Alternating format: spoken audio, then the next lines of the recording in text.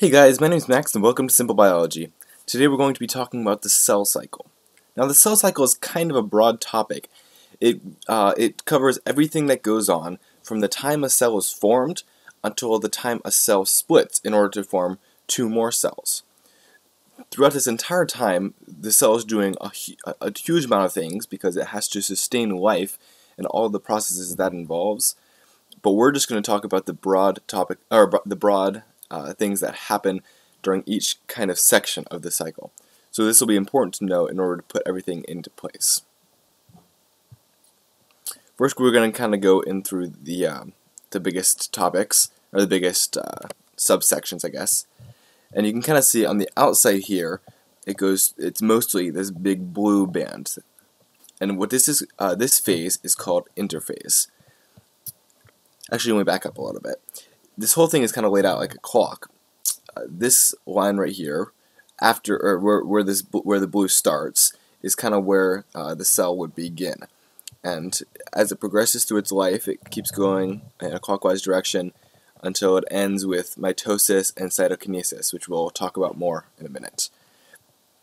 Essentially, it spends most of its time in this blue band known as interphase.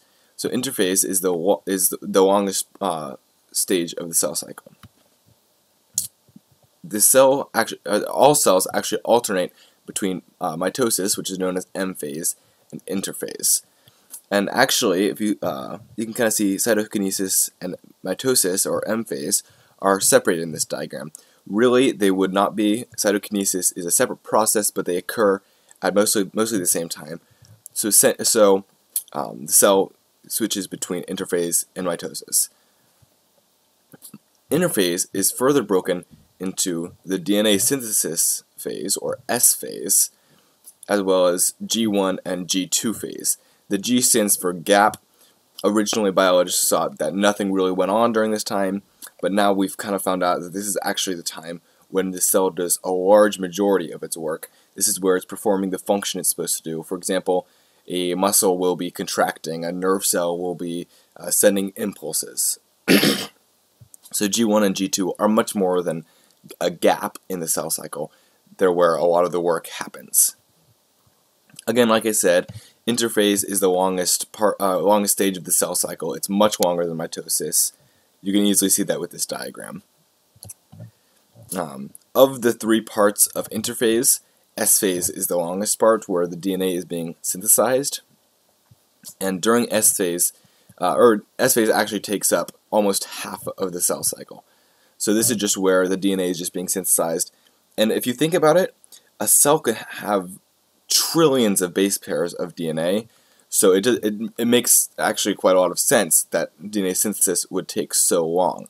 This is where all that DNA has to be perfectly replicated with incredible precision in order to not like create cancer and stuff. So that's kind of a brief overview.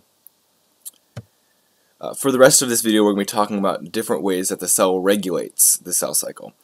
Uh, in this one, we're going to be talking about, or uh, first we're going to talk about uh, different checkpoints that happen.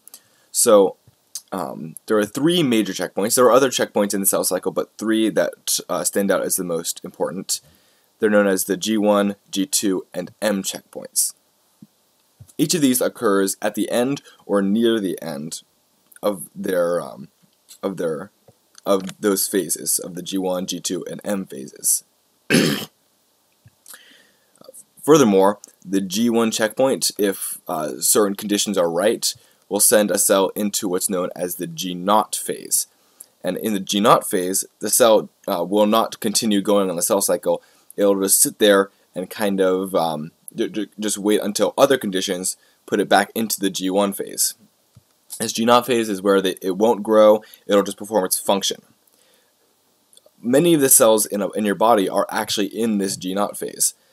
Most uh, neuron cells and muscle cells, uh, like I mentioned earlier, are actually in this G0 phase, where uh, they're no longer dividing, no longer growing, but they still have an important function to play, so they still live. In addition, there are other cells uh, that, like such as your liver cells, that are in that but less permanent. So they're in the G0 phase but can be taken back out if necessary. Those muscle and neuron cells actually uh, can't be taken out of G naught phase uh, most of the time. Um, so next we're going to go into different uh, different mechanisms that will be involved in these checkpoints. Uh, you can kind of see these are where those checkpoints lie. Uh, I didn't I didn't show you this last time, but this is where this is where those checkpoints lie: the G1 the G1 checkpoint, the M checkpoint, and the G2 checkpoint. Essentially, what you need to know is that there's a compound called cyclin, and cyclin. The reason it gets, its name, uh, cycle cyclin, is because its concentration rises and falls in cycles. So, at different points of the of the cell cycle, predictably is the important part. At predictable points of the cell cycle, the cyclin concentration will rise, and then later it will fall back again. And this always happens in the same places. It's important to know. There are certain uh, proteins known as cyclin-dependent kinases and their activity uh, modifies the cell cycle. So th these will be the uh, the these will be the proteins that allow the cell to go through a checkpoint or to be held back by a checkpoint. And the reason they're called cyclin dependent is because they're inactive unless cyclin is present. So when that cyclin concentration rises, those uh, cyclin dependent kinases will be activated and they'll uh, start doing their work. They'll allow the cell through the checkpoint. Later on, as the cyclin concentration falls, the cyclin-dependent kinases will start being broken down, um, and then that will be what puts the cell back into a cycle. Uh, one of the most important of these cyclin-dependent kinases is what's known as maturation promoting factor, or MPF, and this is the one that allows the cell past the G2 checkpoint. Now, uh, the reason this is one of the most important is because uh, without this one, it would the cell actually wouldn't go into mitosis. And so this is just kind of the last barrier before the cell begins mitosis. We'll be going into mitosis a lot in our next video, which is entitled Mitosis. I should have mentioned that earlier. Uh, last thing on regulation, uh, we're going to be talking a little bit about growth factors and some of the effects that can happen if we lose those. So, uh, like I, like I mentioned, growth factors, and there there are uh, I'm actually not sure how many, but I'm sure hundreds of growth factors, uh, and these all uh, stimulate cell division. That's why they're known as growth factors. It's a factor um, that plays a role in stimulating growth or cell division. And so a couple that are uh, pretty important that they kind of discovered in a laboratory. Uh, the first is that um, density-dependent inhibition prevents crowded cells from dividing. In other words, uh, certain cells, uh, such as like this, uh, epidermal cells and cells that are like on the inside lining membranes and stuff like that uh, will divide if there's an open space next to them, but will not if they're crowded around on all sides by other cells. What this allows is if there's a wound, those cells will divide to fill it up.